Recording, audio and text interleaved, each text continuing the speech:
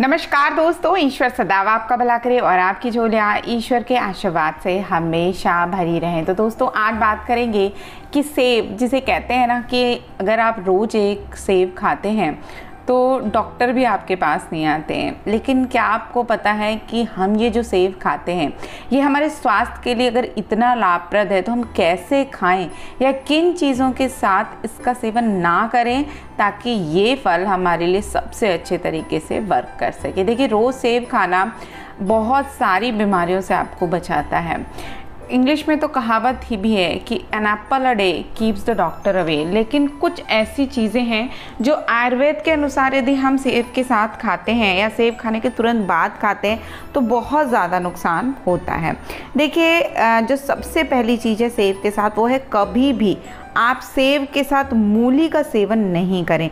अन्यथा ये आपके शरीर पे सफ़ेद दाग जैसी समस्या पैदा कर सकता है। या त्वचा में खुजली रैशेज़ ये सोराइसिस जैसी प्रॉब्लम की भी ये प्रॉब्लम को क्रिएट करने में सबसे ज़्यादा वर्क करता है। तो हमेशा आयुर्वेद देखिए, खाने में आहार और विरुद्ध आहार, इन दो चीज़ों पे बहुत ध्यान देता है। तो यदि आप विरुद्ध आहार खाने के साथ नहीं खाते तो सबसे ज़्यादा अच्छा रहता है आपके स्वास्थ्य के लिए।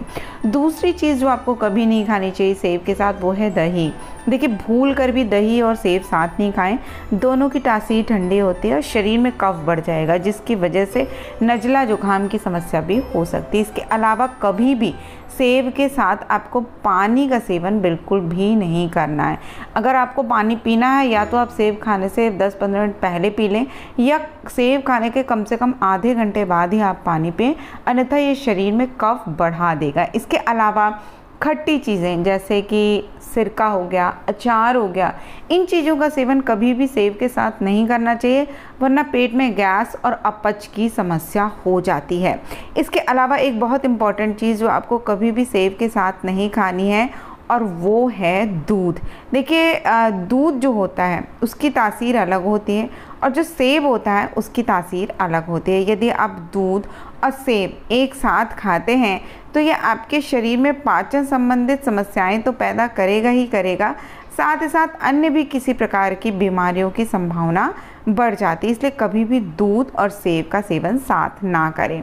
और इसके अलावा एक बहुत ज़रूरी टिप्स जो मैं आपको देना चाहती हूँ, वो ये है कि खासकर आप सेब को अकेला खाएँ। अगर आप खाना खाने से पहले खाना चाहते हैं तो आधा एक घंटा पहले खा लें। या खाना खाने के एक घंटे बाद खाएँ। कभी भी कार्बोहाइड्रेट और सेब। इन दो चीज़ों को एक साथ नहीं खाना चाहिए।